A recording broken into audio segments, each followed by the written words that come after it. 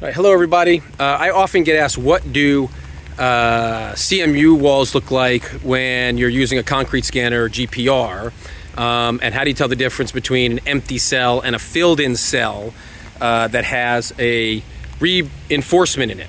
And so we'll go ahead today and show you. Now if you look here on the top all these little blips those are indications of empty cells.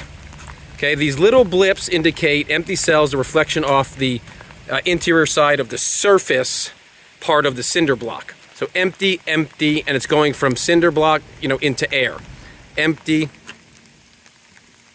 And here finally, we actually get a response. That's a filled in cell. I know it's raining a little bit, but so as I pull back here, this cell right here has concrete and has a reinforcement inside of it.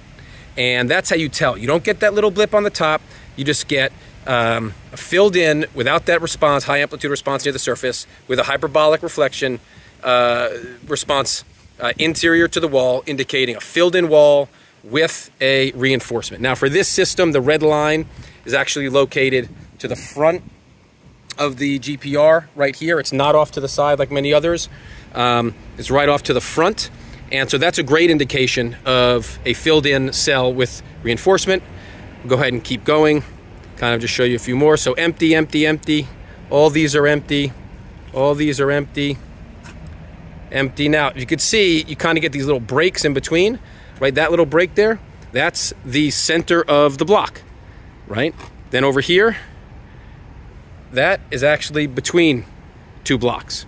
And so we'll keep going and see if we can find another filled in cell. All these are empty. And then finally, here's another one, right? So as I pull back, here, right here, this cell has a, uh, is filled with concrete and has a reinforcement in it. So this is a sort of typical standard CMU wall. This is some pretty basic data. Um, these can get much more complicated and if you want to learn more, go to our website, bigmangeo.com. That's bigmangeo.com.